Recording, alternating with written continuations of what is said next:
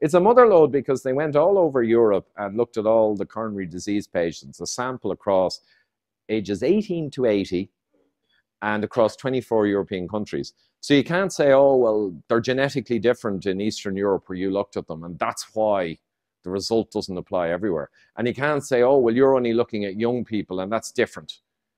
They looked at everything. So whatever they say goes, right? This is heart disease. This is the answer to heart disease, you could say. So what did they say? Well, at first they saw, oh my God, oh, oh, embarrassing. A third of them were type 2 diabetics on their medical record already from the get-go of all of these people, regardless of age.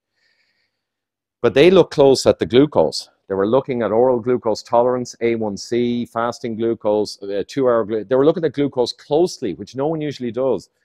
So they saw that another quarter are full-blown type 2 diabetic. They just haven't been diagnosed. So now over half of them are full-blown type 2 diabetic. Right? It's a bit embarrassing. But when they looked at the data, they realized actually another quarter are they called it high risk for type 2 diabetes, but it was type 2 diabetes. It just hadn't reached the ridiculously high bar to be called it, but it was, it was frank type 2 diabetes. Three quarters of all the heart disease patients in Europe are type 2 diabetic. And as myself and Dr. Gerber and others pointed out, they didn't even test their insulin. And that's the earliest laboratory test for type 2 diabetes. Glucose doesn't show you most of the, or a lot of the people. You need to use insulin. So if they used insulin, they pick up another big chunk. See what I'm saying?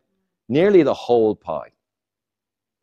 Nearly the whole pie of cardiac disease is essentially insulin resistance type 2 diabetes. If you took that out, heart disease would not disappear. There's lots of special problems and arrhythmias, but it'd, it'd almost disappear. Insulin resistance, biggest game in town. Primary cause early death, just a quick reminder, if you search for insulin resistance and any of these conditions on our kind of board of death, you're going to have masses of papers to read in the scientific literature. So insulin resistance is connected intimately in hundreds, thousands, tens of thousands of studies to all of these conditions I showed you, uh, because essentially it kind of underpins them all. It's insulin resistance is a model of accelerated aging, as Dr. Ron Rosedale said. It's a model of accelerated aging. If you push insulin resistance in a person, you accelerate their aging and they're basically falling apart. Neuropathy, heart muscles, heart uh, vessels, the brain, you know, Alzheimer's.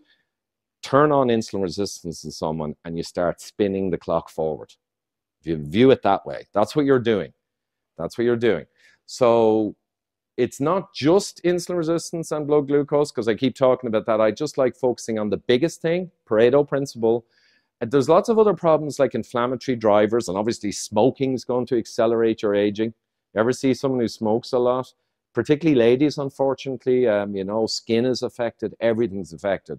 So Autoimmune and infections can be a big problem, and mineral and vitamin deficiencies like vitamin D deficiency, magnesium deficiency, they'll all destroy your machine too. But, but this is the big one and the primary diet related one. So we, we focus on the biggie. Uh, and I just show there linked to everything.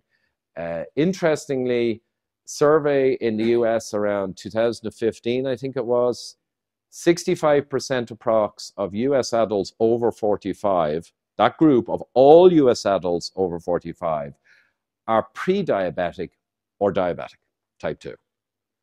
Um, and pre diabetic is diabetic. Pre diabetic is a nonsense. They call it pre because it's too embarrassing to call it diabetic and admit that two thirds of your adults are diabetic.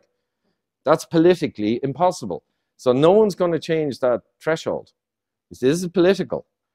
You can't deal with 65% have type 2 diabetes. Um, it's funny how a lot of this is political. And myself, Dr. Gerber, Professor Noakes, and my huge network around the world generally would guess it's probably 80% if they measured insulin.